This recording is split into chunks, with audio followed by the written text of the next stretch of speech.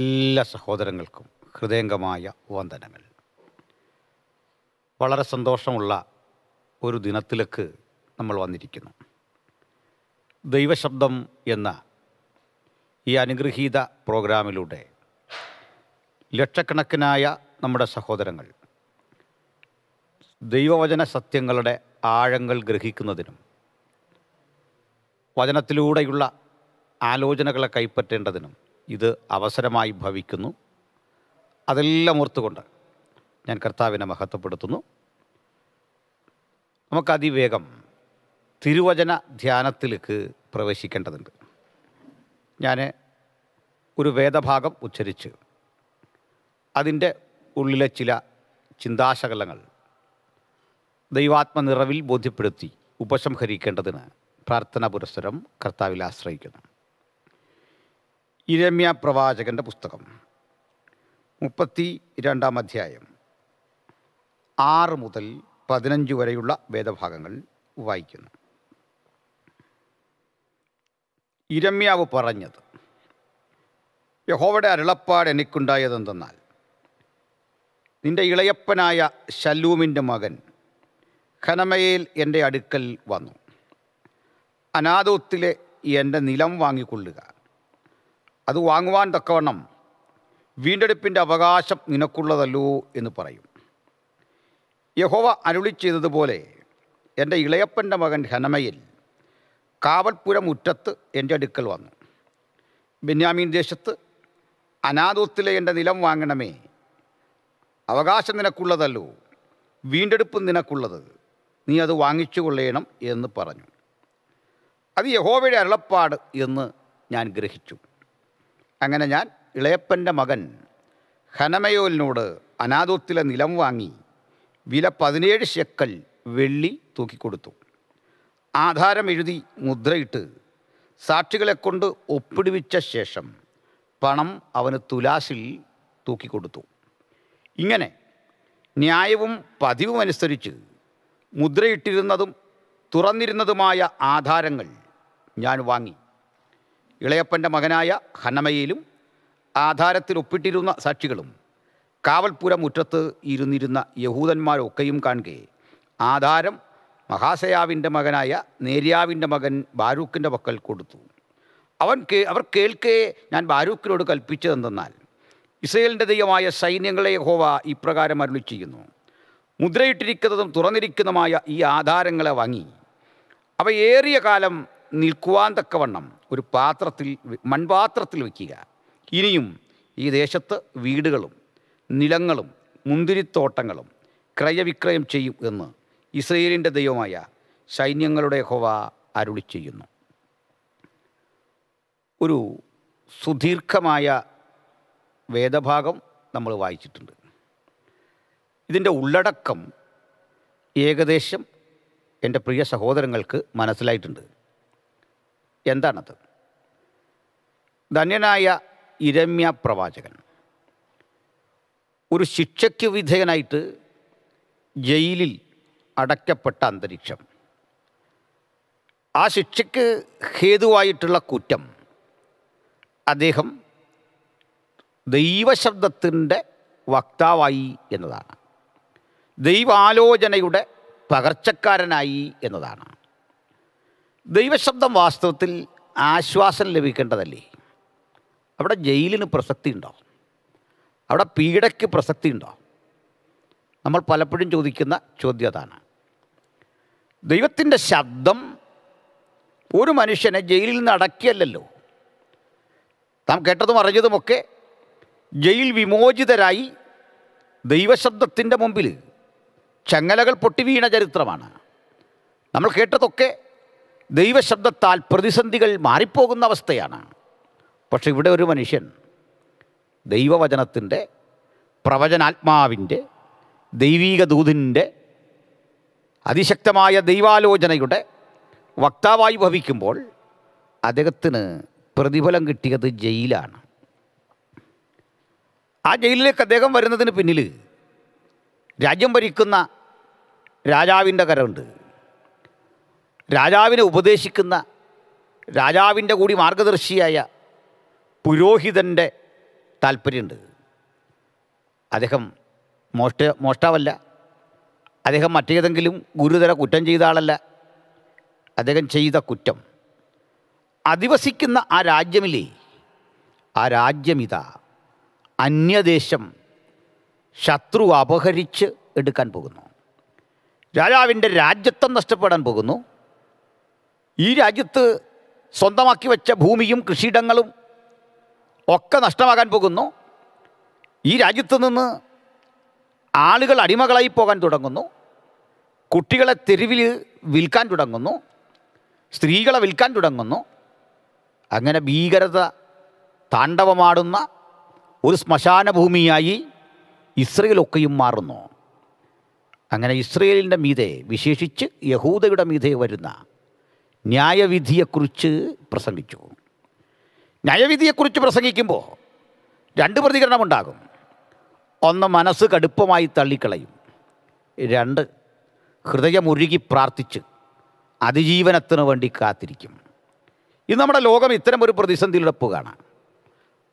ചിലർക്കിത് മനസ്താപത്തിന്റെയും തിരിച്ചറിവിന്റെയും വകതിരിവിന്റെയും വചനമയച്ച ദൈവത്തിങ്കിലേക്ക് മടങ്ങിച്ചെല്ലാനുമുള്ള ഒരു കാലികളവായി ചിലരിതിനെ ഉപയോഗിക്കുമ്പോൾ വേറെ ചിലർ കാണുന്നത് കഠിനതയുടെ ഒരു ഹൃദയത്തോടെ ഒരു ദൈവം ഉണ്ടോ? ദൈവം ഉണ്ടെങ്കിൽ എന്താണ് കോവിഡ് മാറാത്തത്? ദൈവം ഉണ്ടെങ്കിൽ എന്താ ഈ പരിതസ്ഥിതിയൊക്കെ വന്നത്? ദൈവം ഉണ്ടെങ്കിൽ ഇങ്ങനെയൊക്കെയാണോ? ദൈവം ഇല്ല എന്ന് തെളിയും പോലെയുള്ള ചർച്ചകളായി കോവിഡ് കാലഘട്ടത്തിന്റെ പ്രതിസന്ധിയെ വിലയിരുത്തുന്ന സാമൂഹ്യ മാധ്യമ ചർച്ചകൾ ഇന്ന് സജീവമാണ്. ഒരു ഭാഗത്ത് അത്തരം നിരാശയുടെ ശബ്ദങ്ങൾ അതിഗംഭീരമായി മുന്നേറുമ്പോൾ മറ്റൊരു സത്യമുണ്ട്. ദൈവത്തെ ആവശ്യമുള്ള ജനകോടികൾ ഇന്നും പ്രാർത്ഥനാന്തരീക്ഷത്തിൽ ആ ദൈവസാമീപ്യത്തിന്റെ സ്വാന്തനങ്ങളെ ഏറ്റുവാങ്ങുന്നുണ്ട്. അതിന് കോവിഡ് തടസ്സമല്ല. അതിന് വിമർശിക്കുന്നവരുടെ വിമർശനം തടസ്സമല്ല.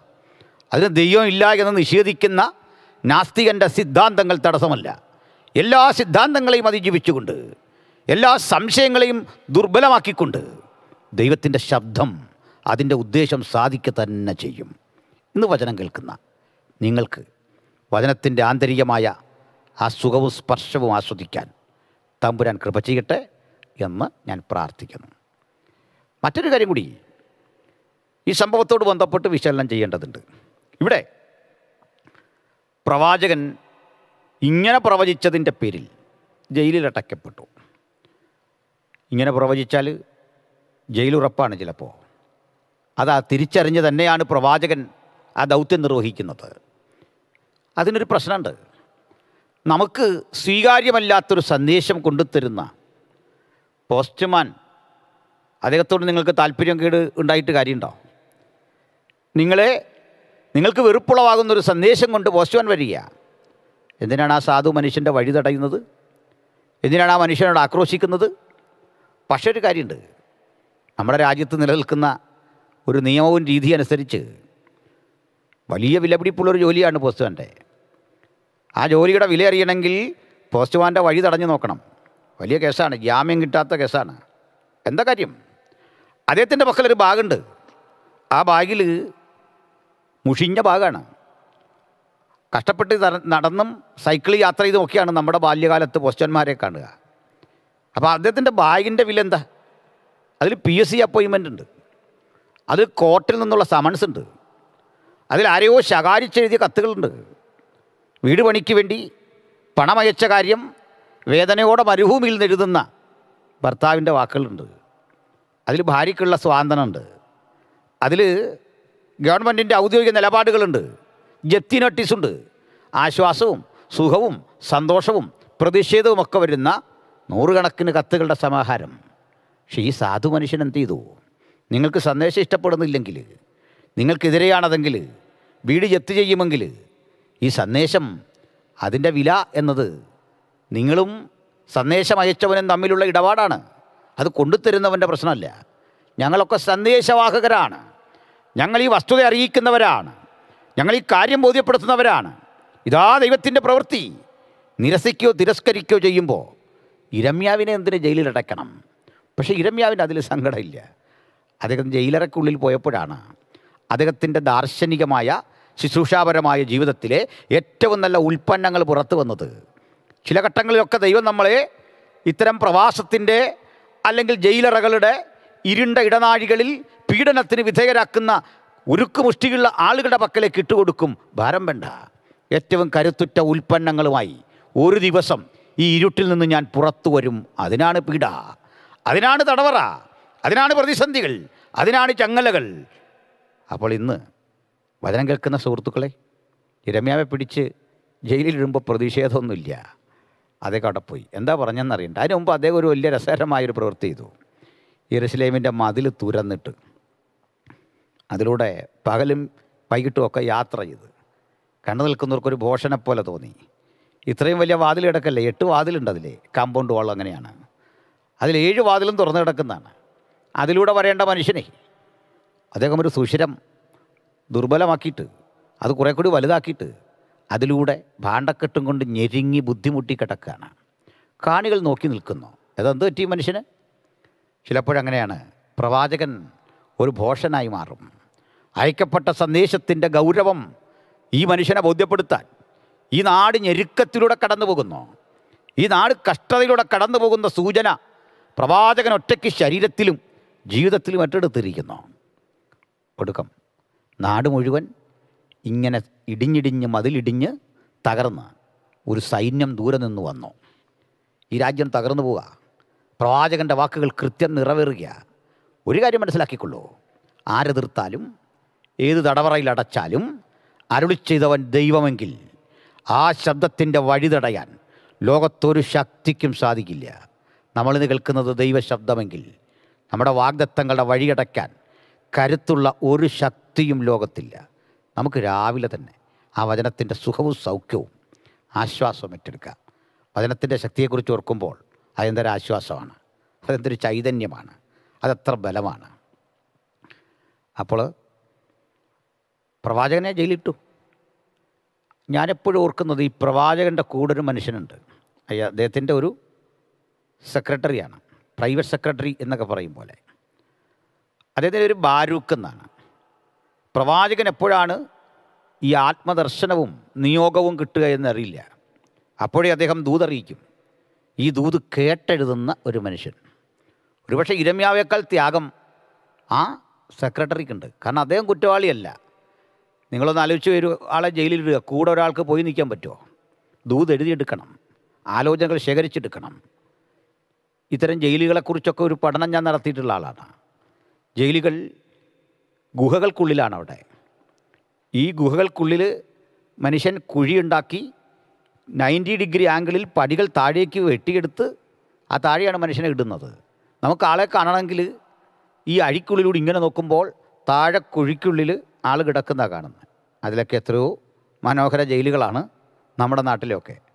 നല്ല ഫൈവ് സ്റ്റാർ സൗകര്യമുള്ള ജയിലാണ് നമ്മുടെ നാട്ടിലൊക്കെ എങ്കിൽ ഈ കുഴിയിലാണ് ഇവർ കിടക്കുക.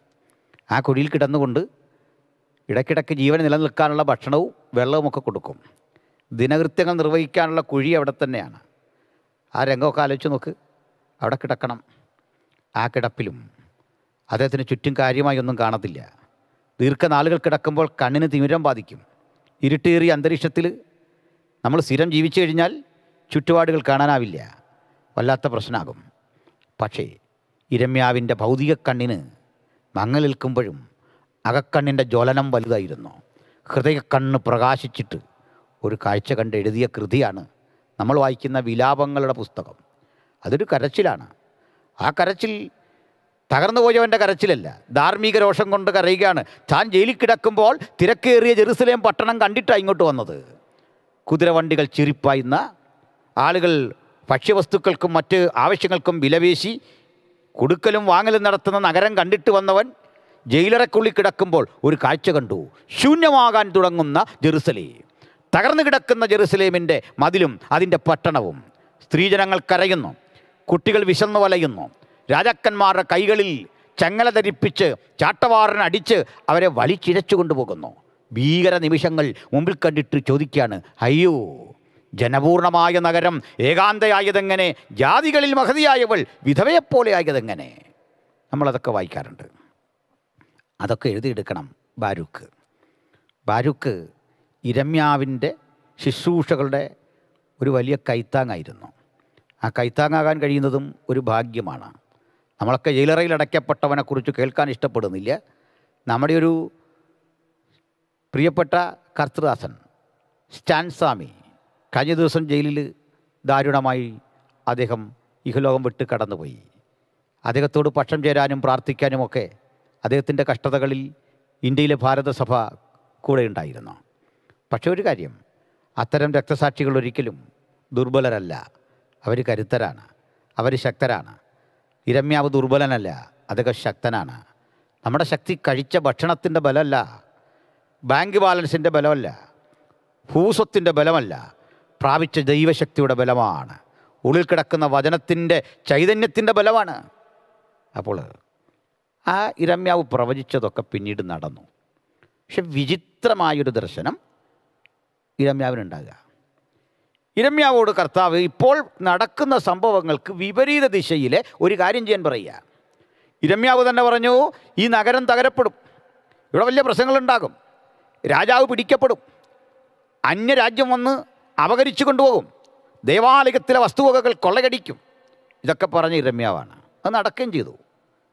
അറുന്നൂറ്റി ആറ് ബി സിയിൽ ബാബിലോന്യ ചക്രവർത്തി നെബുക്കത് നെസർ വന്ന് ഇത് മുഴുവൻ ഇടിച്ച് തരിപ്പണമാക്കി വിലപിടിപ്പുള്ള ദേവാലയത്തിലെ വസ്തുക്കൾ കൊള്ളയടിച്ച് ആളുകളെ അടിമകളാക്കിക്കൊണ്ടുപോയി അങ്ങനെയാണ് ശദ്രക് മേശക് അബേദിനഗോമാർ ദാനിയൽ യസക്കിൽ മുതലായ പ്രവാചകന്മാർ ബാബിലോണിയയിലേക്ക് പോകേണ്ടി വരുന്നത്. നീണ്ട എഴുപത് വർഷത്തെ പ്രവാസമുണ്ടാകുന്നു. ഇതൊക്കെ ഇരമ്യാവ് പ്രവചിക്കുന്നു. ഇതൊക്കെ സംഭവിച്ചു. ഇതൊക്കെ സംഭവിക്കും എന്നരുളുന്ന ഇരമ്യാവോട് സംഭവിക്കാൻ പോകുന്നതിന്റെ വിപരീത ദിശയിലെ ഒരാലോചന കൊടുക്കുന്ന ഭാഗമാണ് നമ്മളിന്ന് വായിച്ചത്. എന്താ നമ്മൾ നീണ്ട ഈ പോർഷൻ വായിക്കുമ്പോൾ നമുക്ക് ഒരിക്കൽ കൂടി അതിലേക്കൊന്ന് പോകാം. ഇരമ്യാവ് ആറിന്റെ മുപ്പത്തിരണ്ടിന്റെ ആറ് മുതൽ പതിനഞ്ച് വരെ. നിങ്ങൾക്ക് അത് വായിക്കാനും ഗ്രഹിക്കാനും സാധിക്കുന്നല്ലോ. ഞാൻ വിശദീകരിച്ചങ്ങ് പോകാം. സുഹൃത്തുക്കളെ ഇവിടെ കാണുന്നത് അതേ ഒരു ദർശനം കാണുക. ഇരമ്യാവേ നിന്റെ ഇളയപ്പൻ ശല്ലൂമിന്റെ മകൻ ഹനമയിൽ നിന്റെ അരികിൽ വരും. വന്നിട്ട് അദ്ദേഹം പറയും സഹോദര അനാഥോത്തിലെ എന്റെ നിലം നീ വാങ്ങണം. അവകാശം നിനക്കുള്ളതല്ലോ. അപ്പോൾ നീ അത് വാങ്ങണം. എവിടെ വാങ്ങണ്ടേ? രാജ്യം മുഴുവൻ പിടിക്കപ്പെടാൻ പോണ് ആൾ രാജാവിനെ കയ്യാമം വെച്ച് കൊണ്ടുവരാൻ തുടങ്ങാണ്. രാജസന്തതികളിൽ കുലീനന്മാരെ കൊണ്ട് അടിമകളാക്കാൻ പോവാണ്. ഈ നഗരം മറ്റൊരാൾക്കാകാൻ പോവാണ്. ഈ നാട് മുഴുവൻ പിടിക്കപ്പെടാൻ പോവുകയാണ്. അപ്പോൾ തമ്പുരാൻ പറയുക നീ അതിനകത്ത് ഒരു തുണ്ട് ഭൂമി വാങ്ങിയിടണം. നമുക്കിത് സാധിക്കുമോ തകരാൻ തുടങ്ങുന്നിടത്ത് ആരെങ്കിലും ഭൂമി വാങ്ങോ വലിയ പ്രയാസമാണ്. ഇതെന്തൊരു വിചിത്രമായ ദൈവാലോചന. ഹനമയൽ നിന്റെ അടുത്ത് വരും. ഇരമ്യാവിന്റെ ഇളയച്ചന്റെ മകൻ തത്വത്തിൽ അനുജനാണല്ലോ. അങ്ങനെ ഒരു നിയമ രാജ്യത്തുണ്ട്. ഭൂമി ഉണ്ടെങ്കിൽ അതൊരു യഹൂദൻ വിറ്റാൽ ആദ്യം അത് കൊടുക്കാൻ തയ്യാറാകേണ്ടത് വീട്ടിലുള്ളവർക്കാണ് സഹോദരങ്ങൾക്കാണ്. അത് കഴിയുന്നില്ലെങ്കിൽ സ്വന്തം ഗോത്രത്തിൽപ്പെട്ടവർക്ക് കൊടുക്കാൻ തയ്യാറാകണം. അവരാരും വാങ്ങുന്നില്ലെങ്കിൽ അടുത്ത ഘട്ടം ചാർച്ചയിൽപ്പെട്ടവർക്ക് വിൽക്കാൻ ശ്രമിക്കണം. അതിനും കഴിയുന്നില്ലെങ്കിൽ അദ്ദേഹത്തിന് പുറത്ത് വിൽക്കാൻ പറ്റൂ. എങ്കിലേ ആധാരത്തിന് വിലയുള്ളൂ. ഇവർക്ക് ആർക്കും ഒബ്ജക്ഷൻ ഇല്ലെങ്കിലേ പുറത്തൊരാൾക്ക് വാങ്ങാൻ പറ്റൂ. അങ്ങനെയെങ്കിൽ ഇദ്ദേഹത്തിനൊരു അവകാശമുണ്ട്. കാരണം തന്റെ ഇളയച്ചന്റെ ഭൂമി മകൻ വിൽക്കാൻ തുടങ്ങുക. അപ്പോൾ റൈറ്റ് ആർക്കാണ്? ഇരമ്യാവിനാണ്. അപ്പോൾ അദ്ദേഹം ഒരു ചടങ്ങ് നിർവഹിക്കാൻ വേണ്ടി വരിക ഇളയച്ചന്റെ മകൻ. അദ്ദേഹം കണ്ടിട്ട് പറഞ്ഞു ബ്രദർ അങ്ങേക്കാണല്ലോ ഇത് വീണ്ടെടുക്കാനുള്ള അവകാശം. അതനുസരിച്ച് ന്യായവും പതിവും അനുസരിച്ചുള്ളൊരു വില തന്നു. നീ ഇത് വാങ്ങണം. ഇരമ്യ വിട്ടില്ല. അദ്ദേഹം പതിനേഴ് ശക്കൽ വെള്ളി തൂക്കിക്കൊടുത്ത് സാക്ഷികളെ കൊണ്ട് ആധാരം ഒപ്പിടുവിച്ച്. ഇപ്പോൾ ഈ ആധാരം കൈമാറുന്ന രീതി ഒപ്പിടുന്ന രീതിയൊക്കെ പണ്ടേ ഉണ്ടെന്ന് മനസ്സിലായല്ലോ. അതൊക്കെ തയ്യാറാക്കി. ഒരു രസകരമായ പ്രയോഗം. തുറന്നിരിക്കുന്നതും അടഞ്ഞിരിക്കുന്നതുമായ രണ്ട് ആധാരങ്ങൾ. അതെന്ത് ഏർപ്പാടാ? ഒത്തിരി ചിന്തിക്കാനുള്ളൊരു വിഷയമാണ്. അടച്ചതും മുദ്രയിട്ടിരിക്കുന്നതും തുറന്നിരിക്കുന്നതുമായ രണ്ട് ആധാരങ്ങൾ. അത് പഠിക്കണം. ഇസ്രയേലിലെ രീതി അനുസരിച്ച് ഒരു ഭൂമിക്ക് രണ്ട് ആധാരങ്ങളുണ്ടാവും. നമ്മുടെ നാട്ടിലും ചില വില്ലന്മാർ ഭൂമിക്ക് ഒന്നിലധികം ആധാരം ഉണ്ടാക്കും വ്യാജ ആധാരമൊക്കെ. എന്നിട്ടത് കേസൊക്കെ ആവും. ആ നിലയിലല്ല ഇത്. മറിച്ച് അതിന്റെ രീതി അങ്ങനെയാണ് രണ്ടാധാരം ആദ്യത്തെ ആധാരം പരമ്പരാഗതമായി ഉള്ള ഒന്നാണ്. നമ്മൾ ഈ മുന്നാധാരം എന്ന് പറയുന്നതിന്റെ അപ്പുറത്തുള്ളതാണ്. ഇതിനൊരു പ്രത്യേകതയുണ്ട്. ഇത് അടിസ്ഥാനമാക്കി വെച്ചിട്ട് അതിൽ നിന്നാണ് വീതം വിഭജിക്കുന്നത്. ഈ ആധാരത്തിന് വില നഷ്ടപ്പെടുന്നില്ല. അതിന്റെ കാരണം പറയാം. പലപ്പോഴും ഇത് ബിൽ പത്രങ്ങളായിരിക്കും. അതിന്റെ വഴി പറയാം. ഒരു പിതാവ് പത്തോ പന്ത്രണ്ടോ മക്കളുള്ള അപ്പൻ അദ്ദേഹം തന്റെ ഭൂസ്വത്തുക്കളും സ്ഥാവരജംഗമ വസ്തുക്കളും മരണാനന്തരം എന്തു ചെയ്യണം എന്ന് വളരെ വിവേകത്തോടെ എഴുതും. ചില ആളുകൾ അത് ചെയ്യാറില്ല. പിന്നെ മക്കളൊക്കെ തമ്മിൽ വലിയ പ്രശ്നമാണ്. വിവേകത്തോടെ ഇതൊക്കെ ചെയ്യണം നമ്മൾ.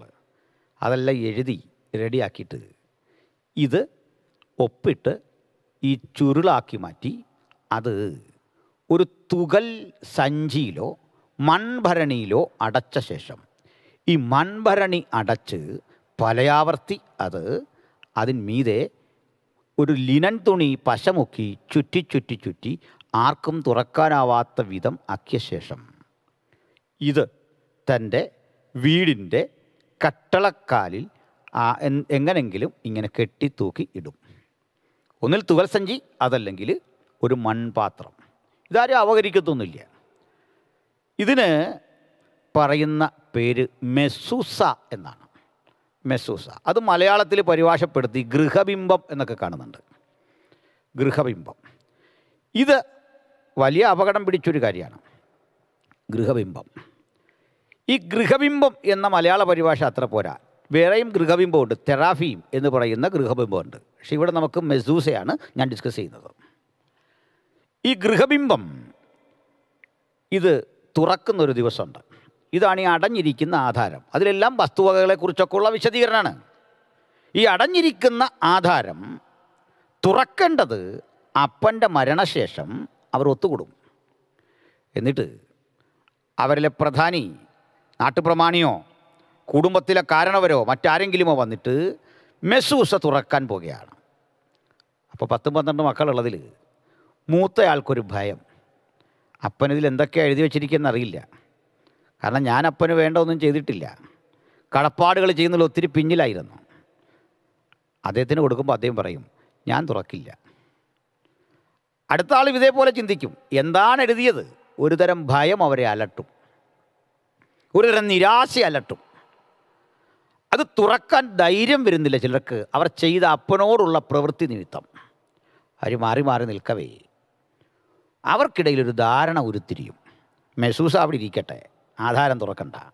നമുക്കുള്ള ഭൂമി തരക്കേടില്ലാതെ ഒത്തുതീർപ്പ് വ്യവസ്ഥയിൽ വിഭജിച്ചെടുക്കാം. ഓ അപ്പോൾ ഈ മെസൂസ ആര് കൈപ്പറ്റും? ആരെങ്കിലും ഇത് സൂക്ഷിക്കുമെങ്കിൽ അവർക്കൊരു ഓഹരി കൂടുതൽ കൊടുക്കണം. അങ്ങനെ മെസൂസ ഉള്ള വീട് ഓഹരി കൂടുതലുള്ള വീടാണ്. ഇതാണ് നമ്മുടെ റാഹേൽ അടിച്ചു മാറ്റിക്കൊണ്ട് വരുന്ന സാധനം. വിഗ്രഹമൊന്നുമല്ല. ഇത് കയ്യിലിരുന്നാൽ ഓഹരി കൂടുതലാണ്. പക്ഷെ തുറക്കൂല. തുറക്കാൻ പേടിയാണ്. ഇതിൽ എഴുതി വച്ചിരിക്കുന്ന അനുഗ്രഹമോ ശാപമോ എന്നറിയില്ല. ഇതാണ് വെളിപ്പാട് പുസ്തകം പഠിക്കുമ്പോൾ കാണുന്നത്. പുസ്തകം വാങ്ങാൻ അത് തുറക്കാൻ യോഗ്യനായി ഞാൻ ആരെയും കണ്ടില്ല. മനുഷ്യകുലത്തിൽ ഒരുവനും ഈ കൃതിയിൽ എഴുതി വെച്ച് തുറക്കാൻ കഴിയാത്ത പാപപ്രവൃത്തിയുടെ കാഠിന്യ നിമിത്തം ഭയരഹിതരായി നിൽക്കുമ്പോൾ പാപമറിയാത്തവൻ നിർമ്മലൻ നിർദോഷി പാപികളോട് വേറിട്ട ദൈവപുത്രൻ അവനെ നോക്കിയിട്ട് ദൈവാത്മാവ് പറയുക ഇതാ യഹൂദഗോത്രത്തിലെ സിംഹവും ദാവീദിന്റെ വേര്യമായവൻ ഏത് ശാപത്തെയും തകർത്ത് ജയമെടുത്തിരിക്കുന്നു. ഈ പുസ്തകം തുറക്കാൻ അവിടുന്ന് യോഗ്യനായിരിക്കുന്നു. ഇതൊക്കെ പ്രവചനാത്മാവിൽ രേഖപ്പെടുത്തിയ കാര്യമാണ്. ഇപ്പോൾ രണ്ടാധാരം. ഇത് അടച്ചിരിക്കുന്നതും തുറന്നിരിക്കുന്നതും. ഇവ രണ്ടും കൈപ്പറ്റി. കൈപ്പറ്റി കഴിഞ്ഞപ്പോൾ ഇരമ്യാവിന്റെ അടുത്ത പ്രവചനം.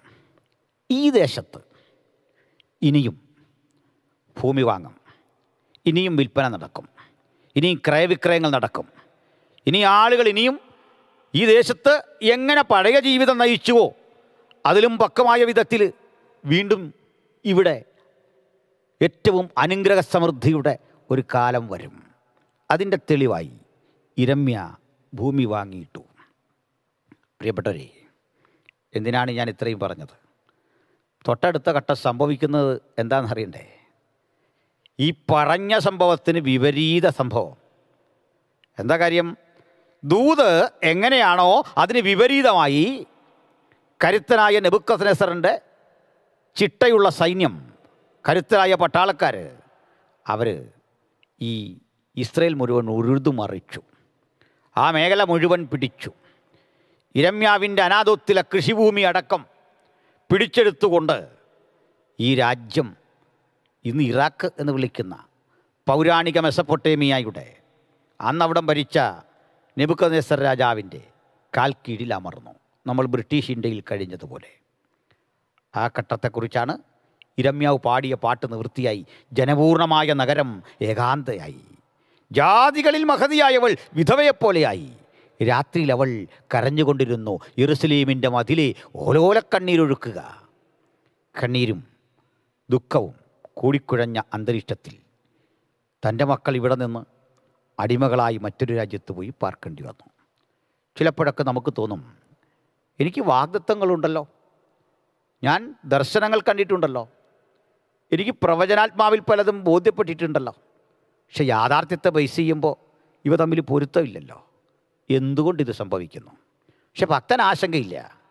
ഭക്തനറിയാം ഇത് എന്റെ മനസ്സിനെ ഏതെങ്കിലും വിധത്തിൽ ബാധിക്കുന്നില്ല. എന്റെ മനസ്സിനെ ഒരു വിധത്തിലും ബാധിക്കുന്നില്ല. എന്താണ് കാരണം? ഞാനത് ഒരു ഉപമയിലൂടെ ബോധ്യപ്പെടുത്താം. ഒരിക്കൽ ഒരു മിഷണറി കുടുംബം അവർ ഒരു കപ്പലിൽ യാത്ര ചെയ്യാണ്. ദൂരദേശത്തേക്ക് സുവിശേഷം അറിയിക്കാൻ നാളുകൾ പ്രാർത്ഥിച്ചപ്പോൾ കിട്ടിയ ഒരാലോചനയുടെ മറുപടി എന്താണെന്ന് പോവാണ്. കുറേ കഴിഞ്ഞു. ഈ കപ്പൽ വലിയ പ്രതിസന്ധിയിലകപ്പെട്ടു. അത് തിരയുടെ കേമത്താൽ ആടി ഉലയാൻ തുടങ്ങി. എല്ലാവരും ഭയഭയകരായ ഘട്ടത്തിൽ ഈ മിഷറി കുടുംബത്തിൽ ഭാര്യയും ഭർത്താവും ഒരു കുട്ടിയാണുള്ളത്. ഈ സ്ത്രീയും മകനും ഉണർന്നു. ഭർത്താവിനെ കാണുന്നില്ല. ആശങ്കപ്പെട്ടു. കപ്പലിലൂടെ അങ്ങമിങ്ങുമൊക്കെ കുറേ നേരം അന്വേഷിച്ചു. കപ്പലാടി ഉലയുകയാണ് ആളുകൾ കരയുകയാണ്. അതിന്റെ ഇടയ്ക്ക് അദ്ദേഹം എവിടെ? ഒടുവിൽ അദ്ദേഹത്തെ അവർ കണ്ടെത്തി. കപ്പലിന്റെ ഒരു സുരക്ഷിത സ്ഥലത്ത് നിന്ന് ആടി ഉലയുന്ന കപ്പലിൽ അദ്ദേഹം കണ്ണാടിയിലേക്ക് നോക്കി മുഖം വൃത്തിയാക്കുന്നു. അതിങ്ങനെ ഷേവ് ചെയ്യുകയാണ്. അദ്ദേഹം ഷേവ് ചെയ്തുകൊണ്ടിരിക്കുന്നതിന്റെ അരികിലേക്ക് ഈ സ്ത്രീ വന്നിട്ട് ചോദിച്ചു അങ്ങേക്ക് എന്ത് പറ്റി? ഈ കപ്പൽ ആടി ഉലയുന്ന കണ്ടില്ലേ? കനത്ത നഷ്ടം വരുന്ന കണ്ടില്ലേ? മരണം തൊട്ട് മുമ്പിൽ പതിയിരിക്കുന്ന കണ്ടില്ലേ? അദ്ദേഹം ഒന്ന് നിർവികാരനായി ചിരിച്ചിട്ട് തന്റെ കയ്യിലിരുന്ന ആ കത്തിയെടുത്ത് അവളുടെ കഴുത്തിന് നേരെ ഇങ്ങനെ പിടിച്ചു. ഞാൻ നിന്റെ കഴുത്തറത്ത് നിന്നെ കൊല്ലാൻ പോവാണ്. അവർക്കൊന്നും തോന്നിയില്ല. അവർ പറഞ്ഞു തമാശ കാണിക്കാനുള്ള സമയമല്ല. നിങ്ങളിത് കണ്ടില്ലേ? എല്ലാവരും പ്രാർത്ഥിക്കല്ലേ? ചില അലമുറ കൂട്ടുമല്ലേ അങ്ങനത്തെ നിസ്സംഗതയോടെ ഇദ്ദേഹം ചോദിച്ചു ഞാൻ ഈ മുറിവുള്ളുന്ന കത്തി നിന്റെ കഴുത്തിൽ വെച്ചിട്ട് നീ എന്തുകൊണ്ട് ഞെട്ടിയില്ല? അവൾ ചിരിച്ചുകൊണ്ട് പറഞ്ഞു അങ്ങയ്ക്ക് സാധിക്കില്ല. അങ്ങ് എന്നെ സ്നേഹിക്കുന്നു. അദ്ദേഹം പറഞ്ഞു അതുകൊണ്ടാണ് ഈ കനത്ത കൊടുങ്കാറ്റടിച്ച് കപ്പലിളകിയിട്ടും ഞാനും ഞെട്ടാത്തത്. ഉടയവന് എന്നെ ഇപ്പോൾ തകർക്കാൻ സാധിക്കില്ല. അത് ഞാൻ പ്രാപിച്ച ആലോചനയുടെ ശക്തിയാണ്. ദൂതു തന്ന ആലോചന തന്ന ദൈവം നിർദ്ദിഷ്ട സ്ഥലത്ത് തന്നെ കൊണ്ടുചെന്ന് സുവിശേഷം അറിയിക്കുന്ന ദൗത്യം പൂർത്തീകരിക്കാതെ എന്നെ തകർക്കില്ല എന്നുള്ള ഉറപ്പ്. എന്താ ഇങ്ങനെ പറയാൻ കാരണം? നാം ചിലപ്പോഴൊക്കെ നിസാരമായ കാര്യങ്ങളുടെ മുമ്പിൽ തകർന്നു പോകും. വാഗ്ദത്തമുള്ളവനൊന്നറിയാം. ഞാൻ എന്റെ ആ ഫൈനൽ ആൻഡ് അൾട്ടിമേറ്റ് ഡെസ്റ്റിനേഷൻ ഉണ്ട്. അവിടെ എത്തിച്ചേരും. അതിന് കാറ്റും കോളും തടസ്സമല്ല. അതിനീ കാണുന്ന വെല്ലുവിളികൾ തടസ്സമല്ല. അവസാന വിജയം എന്റെതാണ് വചനം കേൾക്കുന്ന സഹോദരങ്ങളെ നമുക്ക് നമ്മോട് തന്നെ പറയാം. അവസാന വിജയം എന്റെതാണ് അന്തിമ വിജയം എന്റെതാണ് ഏത് പ്രതിസന്ധിയിലും അവസാന വിജയം എന്റെതാണ് കൂടെ കൂടെ തോൽക്കുന്നവനായി തോൽക്കുന്നവളായി നിങ്ങളെ വിധി എഴുതിയേക്കാം. പറയാം. അവസാന വിജയം എന്റെതാണ് നമ്മൾ പ്രാർത്ഥിച്ചതുപോലെ ഇന്ന് എസ് എൽ സിയുടെ റിസൾട്ട് വരുന്ന ദിവസമാണ്. എന്റെ മക്കളൊക്കെ പ്ലസ് ടുവും ഒക്കെ കഴിഞ്ഞ ഡിഗ്രിക്കൊക്കെ പഠിക്കുന്ന കുട്ടികളുണ്ട്. എനിക്ക് റിസൾട്ട് വലിയ ആകാംക്ഷയില്ല. അവർ എ പ്ലസ് മേടിച്ചാലും ഇല്ല എ പ്ലസ് വാങ്ങിയില്ലല്ലോ ഒന്നുമില്ല. അതിൽ വലിയ ആഹ്ലാദവും ഇല്ല. എന്റെ ഒരു മോൾ പറഞ്ഞു ഒപ്പ എനിക്ക് എല്ലാത്തിനും എ പ്ലസ് കിട്ടി. ഞാൻ പറഞ്ഞു അതിലല്ല കാര്യം. എല്ലാത്തിലും എ പ്ലസ് കിട്ടുന്നില്ലല്ല എല്ലാത്തിനും എ പ്ലസ് കിട്ടിയിട്ട് നീ ജീവിതത്തിൽ തോറ്റുപോയാൽ എന്താ ഗുണം? വല്ല പ്രയോജനം ഉണ്ടോ? ആ എ പ്ലസ് നിന്നെ നോക്കി കുത്തിക്കൊണ്ടിരിക്കും. ജീവിതം വിജയിച്ചവന്റെ മാത്രമല്ല അത് തോറ്റവന്റെ കൂടി കൂടിയാണ്. ചരിത്രം പടപൊരുതി രാജ്യം പിടിച്ചവന്റെ മാത്രമല്ല ആ പടപുരുതലിൽ നശിച്ചുപോയ സ്ത്രീകൾ കുഞ്ഞുങ്ങൾ പടയാളികൾ അവരുടെ കൂടിയാണ് ചരിത്രം. അതുകൊണ്ട് തോൽക്കുന്നവർക്കും ഇവിടെ ജീവിക്കാൻ അർഹതയുണ്ട്. തോറ്റുപോയി നിറഞ്ഞ് കുഞ്ഞുങ്ങളെ വഴക്ക് പറയരുത്. അവരെ ഉപദ്രവിക്കരുത്. അവരുടെ മീതെ ആവശ്യമില്ലാത്ത സ്ട്രെസ് കൊടുക്കരുത്. അതൊരു പാപമാണ്. പക്ഷേ ഒന്ന് പ്രാർത്ഥിക്കാം. ഒരു കാര്യം ഉറപ്പാക്കാം. ഈ തോൽവി എന്നൊരു തോൽവിയല്ല. അത് പറഞ്ഞു കൊടുക്കാൻ നിങ്ങൾക്ക് സാധിച്ചിട്ടുണ്ടോ? തോറ്റ കുട്ടിയെ നോക്കി ആ പോട്ടെ എന്ന് പറഞ്ഞ അപ്പുറത്ത് നല്ല കോൺഫിഡൻസ് കൊടുക്കാൻ കഴിയുമ്പോൾ അത് ദൈവശബ്ദം ബ്രദറെ. അതാ ദൈവശബ്ദം. ദൈവം നമ്മളെ തോൽപ്പിച്ച് കളയുന്നവനല്ല. എന്തെങ്കിലും ചെയ്യാം എന്ന് പറയുന്നവനല്ല. ആത്യന്തിക ഉത്തരം. പരമപ്രധാന ഉത്തരം. അതാണ് കർത്താവ്. അപ്പോൾ നമുക്ക് അടുത്തൊരു പോയിന്റിലേക്ക് പോകണം ഇവിടെ ജെറേമിയ സ്ഥലം വാങ്ങി സ്ഥലം അന്യാധീനപ്പെട്ടു. അതൊക്കെ പോയി. അതിന് ആർക്ക് എവിടെ കിട്ടാനാ? പക്ഷെ ഇവർക്കൊരു രീതിയുണ്ട്. എവിടെ പോയാലും ഈ മെസൂസ എവിടെങ്കിലുമൊക്കെ ശേഖരിച്ച് ഒളിപ്പിച്ചു വെക്കും. എവിടെങ്കിലുമൊക്കെ സംരക്ഷിച്ചു വെക്കും. വംശാവലി പട്ടിക അവരുടെ വക്കലുണ്ട്. അതും സൂക്ഷിച്ചു വെക്കും. പൈതൃകം ബോധ്യപ്പെടുത്തുന്ന വംശാവലി പട്ടികയുടെ ചുരുളുണ്ട്. ഇങ്ങനെ ഒത്തിരി കാര്യങ്ങളുണ്ട് അവരുടെ ചരിത്രത്തിൽ. ഇതൊക്കെ എവിടെയെങ്കിലും സൂക്ഷിക്കും. പുരോഹിതന്മാർ കൊണ്ടടക്കും ഏത് പ്രതിസന്ധിക്കകത്തും അവരത് ശേഖരിക്കും. ഇങ്ങനെയാണ് അവരുടെ രീതി. പക്ഷേ ഈ അടിമത്തം ഒരു എഴുപത് കൊല്ലം കഴിഞ്ഞു. എഴുപത് കൊല്ലം ഇരമ്യാവൊക്കെ മരിച്ചു. ആ ഭൂമി അവിടെ കിടക്കുക. കാലമേറെ കഴിഞ്ഞു. ഇസ്രയേൽ മക്കൾക്ക് എഴുപത് കൊല്ലം കഴിയുമ്പോൾ ഉണ്ടായൊരു മാറ്റമുണ്ട്. ആ മാറ്റം ഭയങ്കരമായിരുന്നു. അതിനിടയ്ക്ക് അവരെ അടിമകളാക്കി പിടിച്ചുകൊണ്ടുപോയ ബാബിലോന്യ സാമ്രാജ്യം തകർന്നു. മൂന്ന് രണ്ട് മൂന്ന് ചക്രവർത്തിമാർ വന്നു. അവരൊക്കെ തകർന്നു. ബേൽസസറുടെ വിരുന്ന് നടന്ന രാത്രിയിൽ ആയിരം മഹത്തുക്കൾക്ക് അതിഗംഭീരമായ വിരുന്ന് കൊടുത്ത രാത്രിയിൽ ബാബിലോന്യ സാമ്രാജ്യം ഒരുത്തനും പുതുക്കിപ്പണിയാനാവാതെ തകർന്നു. ഇന്നും അതിന്റെ ശൂന്യാവശിഷ്ടങ്ങൾ നിങ്ങൾക്ക് ഇറാഖിൽ കാണാൻ സാധിക്കും. ആ കോട്ടകൊത്തളങ്ങൾ തകർന്നു കിടക്കുന്ന ദയനീയ കാഴ്ച കാണാൻ സാധിക്കും. ആർക്കും പണിയാൻ സാധിച്ചില്ല. ഈ ഭൂപ്രദേശം മുഴുവൻ പേർഷ്യക്കാരന്റെ കയ്യിലായി. ഇന്ത്യയുടെ പാതി വരെ പേർഷ്യക്കാരൻ ഭരിച്ചു എന്നാണ്. നമ്മുടെ നാട്ടിൽ പാർസി മതമുണ്ട്. അതിന്റെ അനുഗാമികളുണ്ട്. രത്തൻ ഡാറ്റയും മറ്റും പാർസികളാണ്. അവർ വലിയ മതഭക്തരും ഉദാരമതികളും ഒക്കെ ആയിട്ടുള്ള നല്ല ആളുകളാണ്. അപ്പോൾ ഇന്ത്യയുടെ പാതി വരെ വരിച്ചു അഹസരസിന്റെ കാലത്ത് ഇസ്തീറുമൊക്കെ ഉള്ള കാലം നമുക്കറിയാമല്ലോ ഇവിടെയൊക്കെ പിടിച്ചെടുത്തു. പക്ഷെ ഇവരിൽ ഇസ്രയേൽ മക്കൾ വന്നു ഭവിച്ച പ്രതിസന്ധിയെക്കുറിച്ചൊരു ബോധ്യം വന്നു. ഈ രാജാക്കന്മാർക്ക് ഒരു സോഫ്റ്റ് കോർണർ ഇസ്രയേൽ മക്കളുണ്ടായി രാജ്യം ഭരിച്ച കോരസ് പിൽക്കാലത്ത് ഇസ്രയേൽ മക്കൾക്ക് അധികാരം അവകാശം കൊടുത്തു. ഓരോ ഇസ്രയേലിനും താൻ താന്റെ അവകാശ ഭൂമിയിലേക്ക് മടങ്ങിപ്പോകാം. എവിടേക്കാണ് പോകേണ്ടത്? അവകാശ ഭൂമിയിലേക്ക് വിശാലമായി കിടക്കുന്ന ഈ ഭൂമിയിൽ നിങ്ങൾക്ക് അവകാശമുണ്ടോ?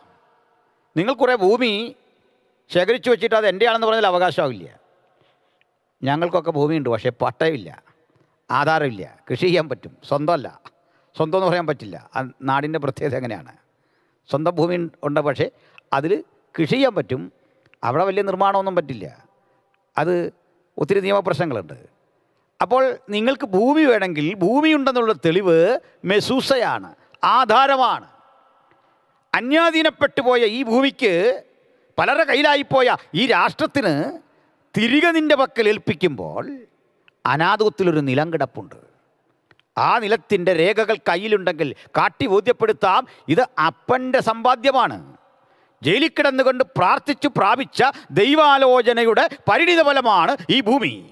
അവിടെ ആർക്കും കൊടി നാട്ടാനാവില്ല. അവിടെ ആർക്കും ഇനി പിടിച്ചെടുക്കാനാവില്ല.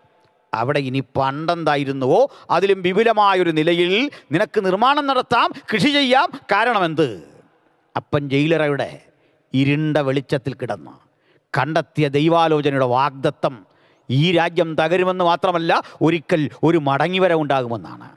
എന്റെ പ്രിയ സുഹൃത്തുക്കളെ നാം ഇന്നേറെ ജീവിതത്തിന്റെ വ്യത്യസ്തമായ അന്തരീക്ഷത്തിൽ തകർന്നും നുറുങ്ങിയും വിഷമതകളിൽ കൂടി കടന്നു പോകുന്ന ഒരു കാലമാണ്. നമുക്ക് അതിജീവനത്തിന് നമ്മുടെ മുമ്പിൽ വഴികളുണ്ട്. നമുക്ക് മടങ്ങിവരവിന് വഴികളുണ്ട്. പക്ഷെ ദൈവാലോചന നിരസിക്കാൻ പാടില്ല. ഇരമ്യാവിനം തോറ്റി അദ്ദേഹം മരിച്ചു. ആ തലമുറയിൽ എഴുപത് കൊല്ലം കഴിഞ്ഞു വന്ന അദ്ദേഹത്തിന്റെ അനന്തരാനുഗാമികൾക്ക് ഈ സ്ഥലം സ്വന്തമാക്കാൻ സാധിച്ചു. ഞാനിതൊന്നുമല്ല പറഞ്ഞു നിർത്താൻ ആഗ്രഹിക്കുന്നത്.